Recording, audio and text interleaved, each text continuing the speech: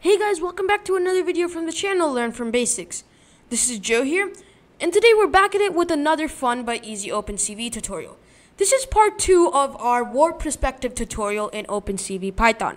Now I made a part 1 of it, and this is all, all of the code from here is in the part 1. I'm not going to explain what we did in part 1 because uh, that's going to make the video lengthy, but there should be a card that pops up right about now that if you click on will take you to the episode on part 1 and so will there be a link in the description that you can click on. So please check that out before you come back to this video because you'll need to know that in order to continue this video. Now, what I was trying, what I am going to say is that meanwhile, I've made two minor changes to this piece of code. I have first of all imported NumPy and renamed it as NP because we'll be needing that in today's tutorial where we will be hacking through the biggest array in order to make it fit our needs. And then I also added this function that basically checks if all of the points in your biggest array are correct. How does it do this? Well, I basically wrote this function that basically draws lines around the paper and I tested this on a fully working program. So this, if this does not work, that means your array is not correct. So you can copy this function down from down in the description. It's really just me drawing lines on the image. The only thing that the only reason I don't want you to recreate this is because these points have to be exactly the same or else that means the function is not correct. And the reason I'm emphasizing on you need to get all of this correct, you need your array to be correct, is because if your correct array is not correct, your program will not be successful. Now, in order to simplify whatever I said over like the last couple of minutes, all I'm saying is that I created a function that, if your array is correct, should draw a box around the paper. Now, if it is incorrect, then that means when you uh, apply for the warp perspective, your uh, your array is going to mess up. Now, how do I know this? Well, I basically got all of this data and I basically drew this function from the completed program, which basically means it's always accurate. So now, without any further ado, let's check if the current array we get from our already pro of processing and working program is good enough for the uh, for the algorithm. Now, what we can do is we're just going to use the corner frame because this is just us checking, and we can say, and now as you can see here, it doesn't return anything. The drawrec uh, function, it just draws on the mainframe. So what we're going to do is we're simply going to say drawrec of, and then we're going to say biggest, and also, yeah, our mainframe is basically going to be corner frame. Now, let's rerun this program real quick. And you'll be able to see the program quite doesn't work. Now, in order and now as you can see, these two lines are working properly. These one and this one, but these lines are crossed up. So now, in order to get this a bit more clear, let's give each line its own color. Over here, this the first line is green. The second line will make uh, red. The third line we can make blue. And then the last line will make a purple. That's a purple, I think, uh, of course. Now let's see what two lines are messing up. Now as you can see, the red and purple lines are messed up. So this line, uh, this line, and this line are messed up. So basically what we have to do in order to get this array to be correct is switch this point and this point, and then also switch this point and this point so these lines are basically upside down. So then we get the correct image. Now, if going on in this tutorial, that's basically what we're going to do.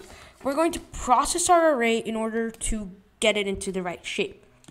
Now I'm going to bring those back because I don't like multicolored. It looks ugly, to be honest. We'll just bring it back to green. Now, as I said, we're going to process some arrays. So we're going to have NumPy. And then I'm just going to comment this. We're going to use that later. The first thing we're going to do, guys, is we are going to, um, the first thing we're going to do is we're basically going to create a new array. We're going to call it biggest new. Will be equal to, and actually, actually, what we're going to do first is we're going to reshape the biggest, uh, the biggest array in order to be 4 by 2 instead of uh, 1 by 2, right? I, I mean 4 by 1. We're going to reshape it to be 4 by 2 as an array so we can get better results out of it. So what we're going to do is we're going to say uh, biggest, oops, caps on, biggest will be equal to biggest dot reshape. This is a, a array function. And then in here, you basically give it the reshape size. So in this case, our size is 4 by 2. Or basically 4, 4 like this, and then 2 like that. Okay, now, the next thing we're going to do, guys, is we're going to create an exact replica of this array, but we're going to, instead of having an array filled, uh, filled with values, each position in the array is going to be filled with a zero. So that's going to be our dummy array. So we can say biggest new as our dummy array. And then we can say, and now we're, we're going to say numpy dot zero. So this will basically create a zero, uh, a, an array filled with zeros. And then it asks us for the shape, which is going to be four, one, two, the same shape as biggest. And then it also asks us for a D type, uh, which is going to be integer because again, uh, these are integers.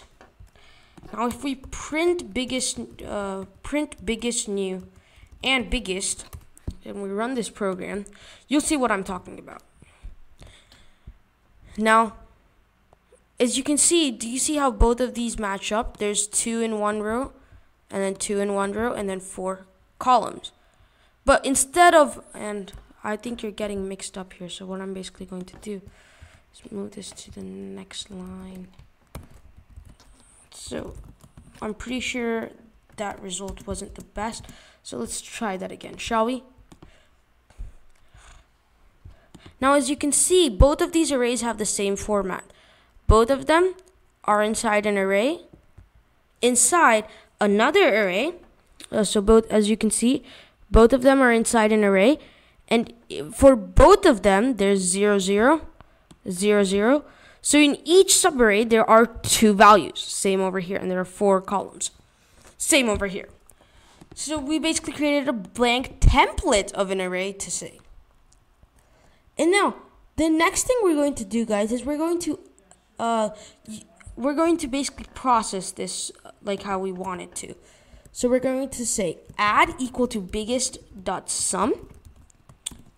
And this will basically help us with the uh so it will it will basically add everything so let's just if it's better for you to see it than me telling you it. Now if we run the program again you'll see it essentially just basically added both of these values up. So 101 plus 99 is 200 uh, 1162 plus 26 is 1118 and so on. That's basically what happened. If you were to add biggest new dot sum, you'll see all of the values will just basically be zero. So as you can see, they're all basically just zero because there is nothing to add. So over here, let's get back to the normal one.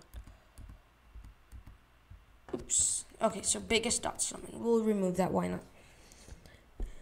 Now the next thing we have to do, guys, is we have to uh, so now what we have to do is we have to go to biggest and then we're basically, now that we have the add data, we're going to um, get some data from it and put it into the biggest.new.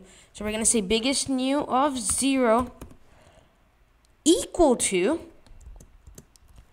and then uh, we're going to say biggest, to, biggest new of 0 is going to be equal to biggest of np.argmin. So we're going to get the value or the index of the lowest uh, uh, sum. So basically, we're going to get the index of the lowest sum in order to put into biggest new. So here, np argmin of add. And then this, of course, is going to be 0, 03. And then we're going to say biggest new, and this time it's going to be for the third value which is not going to be argmin, but this time it's going to be argmax. So that's the biggest value. And then we're going to argmax, that is. And then what we're going to do next, guys, is we are going to get the difference. Same thing over here. I'll print it again to show it to you. You can say difference equal to numpy.diff. And then, uh, first of all, we need to give it the array biggest and then the axis, which is just going to be 1 for now. And again, let's print a difference. And let's comment this as we do not need that for now. If I run this, you'll see, again, it gives us the difference. Now let's just print biggest too, just so you see what I'm talking about. So as you can see, it basically gives you the difference. 101 minus 99. 26 minus, uh, oh, well, I mean, 99 minus 101. 1162 minus 26. 1163 minus 85. 155 minus 862. We basically got the difference. No big deal. And then if you guessed that we would do the same thing as we did before, well, you're absolutely correct.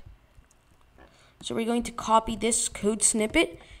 And instead of 0, we're going to say 1. And over here, we're going to say 1. And instead of 3, we're going to say 2. And we're going to replace the add with the difference. We're doing the same thing. We're rearranging our array. That's all we're doing. Now that we have that done, guys, let's try our uh, draw rect function again. But this time, we're going to do the exact same thing except for the fact that we are going to use biggest new. Now if I run the program, rerun it, you'll be able to see there will be a really neat outline around the box. And actually to get a good, a better aesthetic look, you can take this part, actually, yeah, you can take this part, this line draw draws all of the points. Oops. So as you can see, this line of code draw, draws all of the four corner points. You can take that and paste that underneath draw rect, which will basically just give you a better aesthetic. You, need, you don't need to do it, I just like to do it. And then we can backspace that. Now if we rerun the program, ooh, okay, we got something wrong. Okay. Oh yeah, so we don't want biggest, we want biggest new because again, we just uh we took out biggest, right? So there's basically nothing in biggest that we can use. All of the data now is in biggest new. Now as you can see, we have an outline around our paper with the four corner points, which looks really great.